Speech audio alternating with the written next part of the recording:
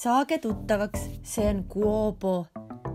Kuobo on ekraanivaba programmeerimist õpetav interaktiivne robot, sobilik lastele vanuses kolm kuni kaheksa eluaastat. selle kaartidel põhinev ülesehitus ja mängulised ülesanded arendavad laste loogilist mõtlemist ning samal ajal annavad võimaluse oma kätega tegutseda. Kuobot on lihtne kasutada see on intuitiivne ja ekraanivaba matik hariduslik õppevahend, mis suhtleb kasutajaga eesti keeles. Kuobo on kõige sobilikum kasutamiseks lasteaias ja esimeses klassis, kus teda saab lõimida erinevatesse ainevaldkondadesse matemaatika, keel ja kõne, muusika, liikumine, mina ja keskkond Kuobo sobib nii individuaalseks kui ka paaritööks, et arendada laste koostööoskuseid.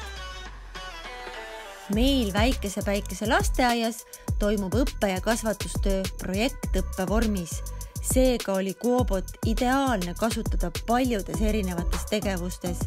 meie piloteerisime Kuobot tantsupeo projektis kolme kuni seitsmeaastaste laste rühmas programmeerimine Kuoboga on väga lihtne, kuna lastele on puslede kokkupanek harjumuspärane tegevus ning sellisel moel programmeerimine on hea ning lihtne viis programmeerimisega algust teha.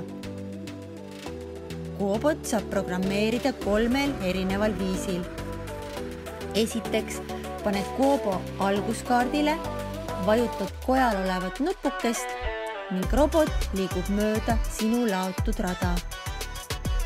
teine viis on kasutada alguskaarti nimega Start.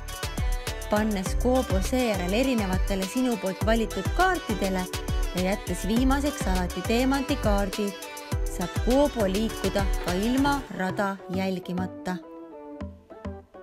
kolmandaks võimaluseks on kasutada programmeerimist arvutis, mis kasutab Windows platvormi www.roboblock.com. head kasutamist